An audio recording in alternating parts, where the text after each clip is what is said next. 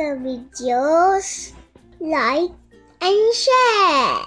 Subscribe for more videos on BabyTube Fun.